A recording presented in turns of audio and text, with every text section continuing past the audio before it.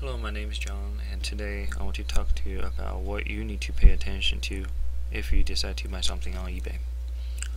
Alright, let's get started. As you can see, we're on this page of spy sunglasses.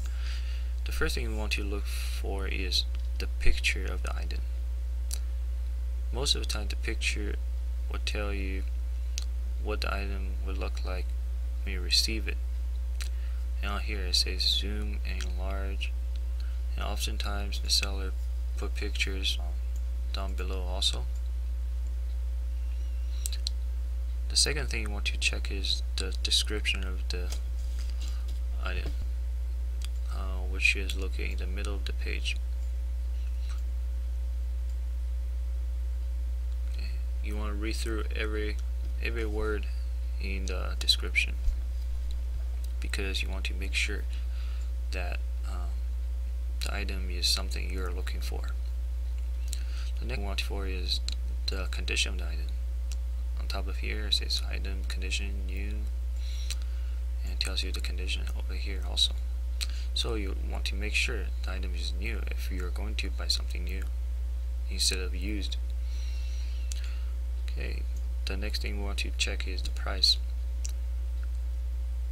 This particular item uh, the seller is um, set up the two um, two price.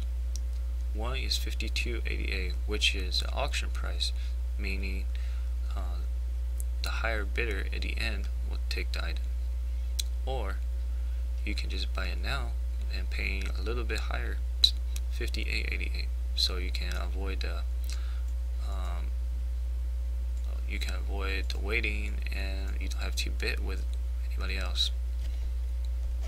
Next thing you want to pay attention to is the shipping method.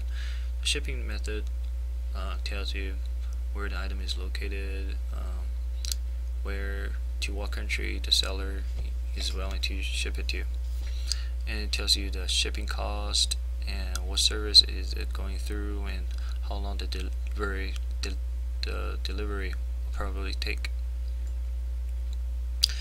Okay, the next thing we want to check is pay, uh, return policy.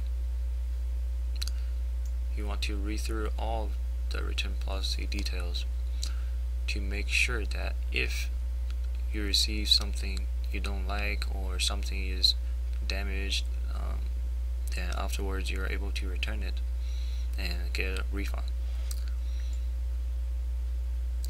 The next thing we want to make sure is the payment detail. You want to uh, make sure uh, you want to make a payment through uh, PayPal as this seller is requiring or uh, some sellers uh, will allow um, uh, just general credit card or checks Then last thing but not least, we want to check the seller's information. And over here, it states the seller's name and how many transactions he had and the percentage of positive feedbacks. You can click on it. So I tell you a little history of the seller's um, history, selling history.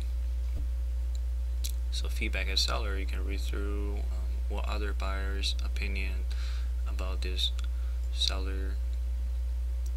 And over here it says 99.7%, which is pretty high, but 100% meaning that he he has received no complaint. And you want to check uh, what was going on, what happened, uh, for people to not leave a positive feedback. By doing so, you you know uh, you don't know uh, how reliable, how dependable the seller is. So there are just a, few things that I think um, are very important if you decide to buy something on eBay. Um,